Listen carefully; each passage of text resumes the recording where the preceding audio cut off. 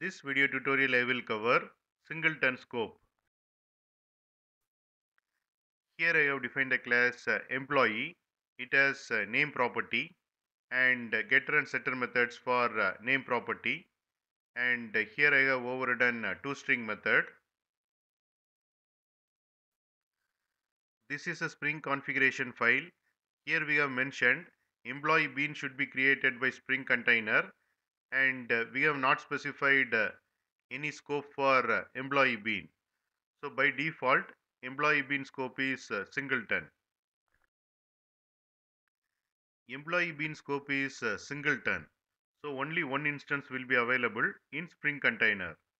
Using getBean method, how many times we retrieve employee bean, we will get the same employee instance because employee bean is singleton.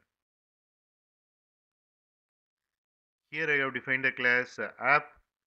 Here I have created application context object by reading a Spring configuration file using getBean method of uh, application context object retrieving uh, employee 1 and uh, setting name as John then printing the employee 1 and here you can see the output. Again I am using getBean method of application context object and uh, retrieving employee 2 and uh, printing uh, employee 2 and uh, here you can see the output.